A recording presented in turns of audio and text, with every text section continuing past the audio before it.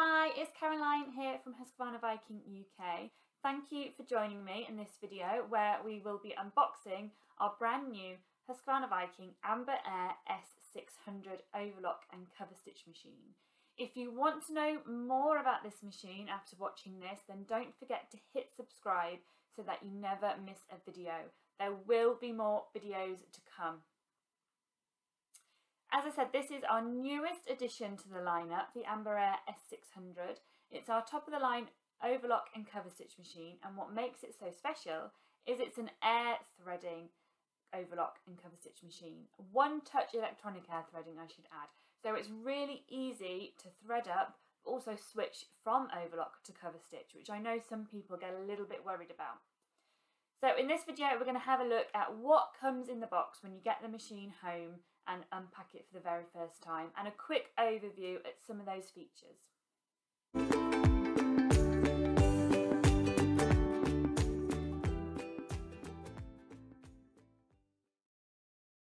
Okay, so when you open up your Amber Air S600, this is what you're greeted with.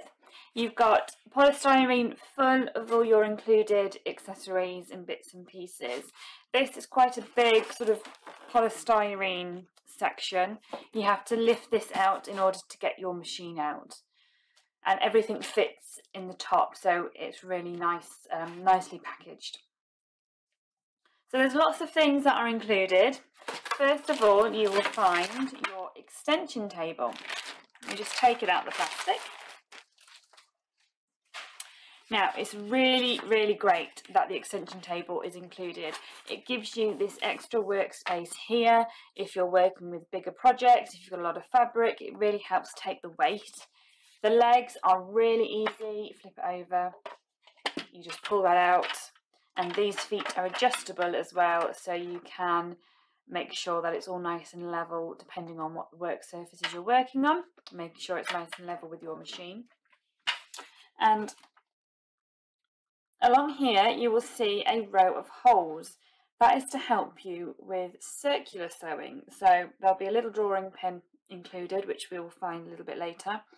Um, and you pop your pin through your fabric, through your hole, depending on how big your sort of curve or circle is, and it helps you guide the fabric round. So that's a really nice, useful additional uh, feature that's included on, on the extension table. Pop that to one side. The next thing I'm going to take out is the thread stand. So this comes in two sections. As you can see, um, we've got the, spools where you actually put your thread on. And then you've got your telescopic stand, which just slots into that and turn that so it's sort of married up. So you've got two on one side, three on the other. And that pulls up when you're actually threading the machine and using it. And then here you've got two little clips and that slots into the back of the machine, which again, once I've got the machine out, I will show you how that attaches on. So that's really easy just to pop together.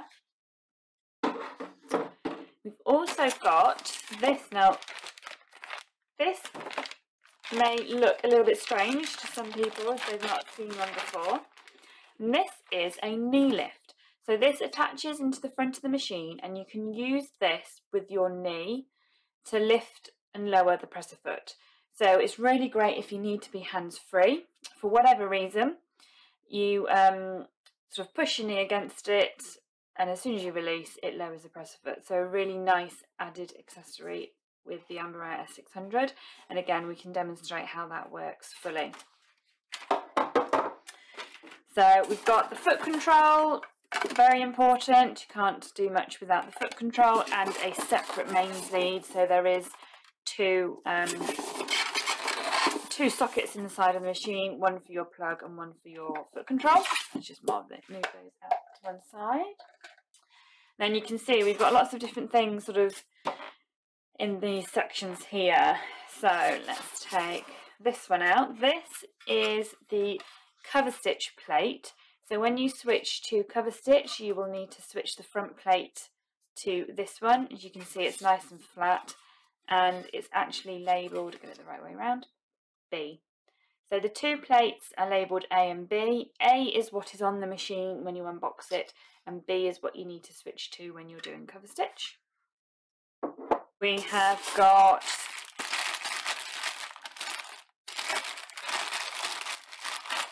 cones. So these are if you're using the really big cones of thread on the back of your overlocker. These sit on top of your uh, spool stand and that helps stop the, the cone of thread rattling around as you're sewing. So you've got five of those, one for each stand if you're using five cones of thread and they come in their own separate plastic bag. In here we've got plastic dust cover so you can pop that over the top of your machine when not in use to help keep it dust free. And then lastly is your waste tray which slots on front of the machine and in there is your box of accessories. So it's quite nice that that fits in there when I'm not using the machine and this is sort of slotted on the machine I always put my box in there so I know exactly where it is. So I'm just going to quickly open that now. So you've got a spare pack of needles. I'm already missing one as you can see I've already used them. And we've got, this is the drawing pin that goes into the holes on the extension table. So it's got a nice safety stopper on as well so you don't uh, prick yourself with the, the sharp end. These, again, these go on the thread stand if you're using um, just sort of standard thread, reels of thread, not the big cones. That can help support the thread and stop them um, sort of rattling around as well. We've got spare blade, another one of those. Thread nets, these are great if you've got a sewing machine, then you're probably used to seeing these. If you're using a tricky type of thread, I suppose like a metallic thread, something that's coming off the reel really quickly and springy, that slots on over the reel of thread to help control it as it feeds off. This is a threading wire. Now this is great for not only cleaning out the loopers of the Amber Air S600, you can also use it for more decorative threads. So you can get a thicker sort of style of overlock thread. Madeira do the Decora range, for example, which you can't use the air threading system for. So there is a small loop in one end of this threader. So you use the metal wire instead of pushing the air button. Little thing of oil to help keep it nice and running well. Screwdriver, there are certain attachments um, that you can buy additional that you may need that sort of style screwdriver for. You've then got the Allen key and that is to change the needles with. So the needles are actually changed with an Allen key. Got a small brush to help keep it clean and a needle threader as well so you can um, if you need a little bit of extra help, you've got a needle threader in that box as well. They all fit into. So I'm just going to pop those all back so I don't lose any of them. And then we're going to get the machine out on the bench and have a look at popping some of these um, different bits on that we've looked at. So I've got the Husqvarna Viking Amber Air S600 out of the box, just looking at the back angle to start with, um, just so I can show you how this goes on. So really easy, as I said, you've got two clips here and two slots on the back of the machine. So you're going to marry those up, pull it over to one side and that's locked into place. And you pull the mast up all the way to the top and there we are, as easy as that. And I've got the waste tray that slots onto the front there. What I love about this is you don't have to have the machine right at the front of the table. Um, some overlockers have like a thread net which hangs down. Um, this sits flat so you can have the machine anywhere you want on the table um, depending on how it suits you and it will still catch all the bits. So, okay, you will then also see this sort of hole in the base of the machine, this is where the knee lift slots into. So that slots into there. And you do have to have the machines are quite close to the edge of the table when you're using the knee lift. Okay, and that slots into there like so. Uh, I've just come a little bit closer while I've got the knee lift attached, just to show you how it works. So my presser foot is currently down. If you want to use your knee lift to lift the presser foot, you simply push your knee against it and you can hear the machine lifting up the presser foot. And when you're ready to release, you simply let go with your knee and it comes back down. So that's how easy it is to use the knee lift to lift and lower your presser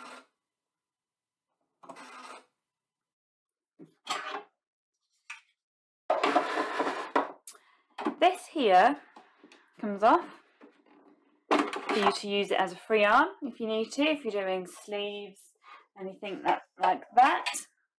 That's also then where the extension table slots into place as well.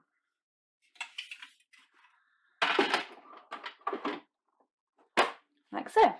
So really easy to switch between the two. Okay, that just clicks in and off. And then this here is where you take the different plates off, depending on whether you're doing overlocking or cover stitch. Okay, so that is the A plate which comes on the machine. And if you're switching to cover stitch, just open the door and that slots into place instead.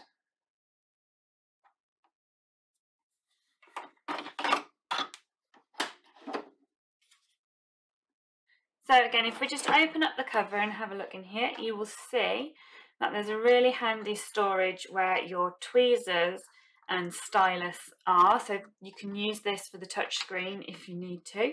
And your tweezers as well are a really important tool with any overlocker or cover stitch machine. And they are stored in the front there. So you can leave them in there or you can pop them in your accessory box, whichever you prefer.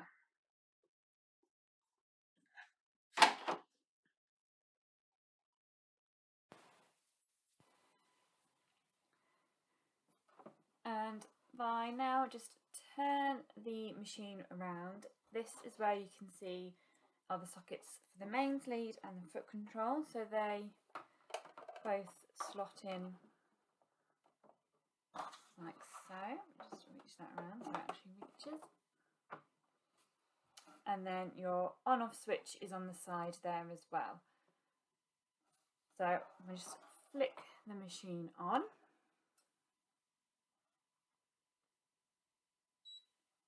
Now, it might come up with a message, I'm just going to twist that over so you can see it. Please raise the presser foot so the machine can calibrate, basically, because it's all automatic tensions. The machine and tensions need to calibrate, and if your presser foot is down, it won't allow you to do that. To lift the presser foot on the Air S600, it's actually on the side of the machine.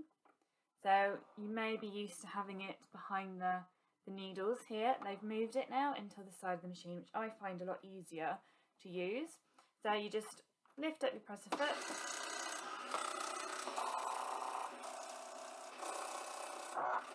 And you can hear it do all its things and then up pops this amazing colour touch screen. So I'm going to open up the front to get the stylus out and I'm just going to do a quick overview of what is on the screen here. This drop down menu is where you find all the different stitches that are built into the Amber Air S600. So I've come in nice and close. This, as I said, is the drop down menu that lists all the different stitch options um, that are built into the Amber Air S600. And if I just scroll down, you can see there are actually 26 different stitch techniques built in. So that's just down to how you thread and changing settings, um, changing needle positions, give you all these options. And of course, because it is an overlock and cover stitch, you've got the cover stitch stitches built in as well. And if you decide on whatever stitch you want to do, say you want to do a rolled hem, for example, you select that stitch and it will come up with a diagram, what colour thread paths to take, which correspond to the dots on the, on the machine. And the first information comes up with an overview of anything that you need to change. And these are all explained in the instruction book. Um, so until you get used to what each bit means, you can still refer to your instruction book. And then number two, it just gives you a description of what that stitch is for. And you can cross that off and it goes back to your main home screen. If you want to get that information up again, you've got the I button here. You simply hit that and that comes back up.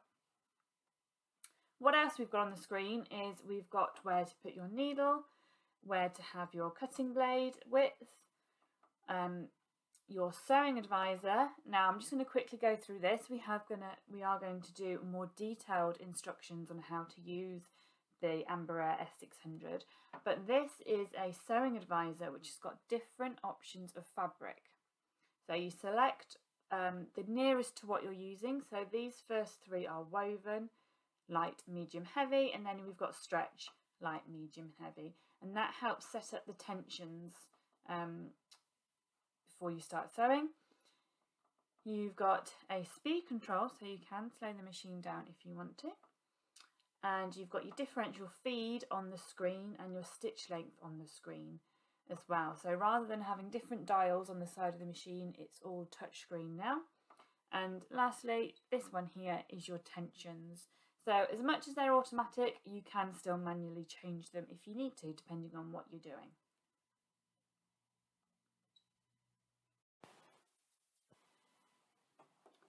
So when it comes to threading up the Amber Air S600, you do need to have your cover open for threading up both your loopers and your needles. The, um, the cover hides away all those thread paths, so you need to leave that open whilst you're threading up. And you'll see here that we've got a nice big push button and that is what you use to thread the loopers. As we mentioned, this is an air threading overlock and cover stitch machine and it's an electronic one touch air threading. So you thread at the start of the threading path depending on which ones you're, you're um, doing. You just poke a small amount of thread through the end and you just, and you can hear that whoosh going through.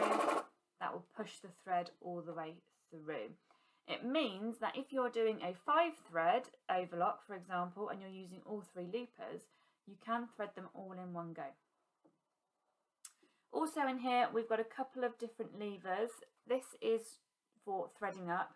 So before you thread up, and you'll forget to do this a few times when you first get your machine, trust me because I have, you flick this over to threading and then you turn your hand wheel until it locks into place. And that means that all these are now locked into place so that the threads can all go through in one movement. And what's nice is that it won't actually allow you to close that door if you haven't switched that back over. So once you finish threading, just flick that back over and you can thread the door, um, shut the door.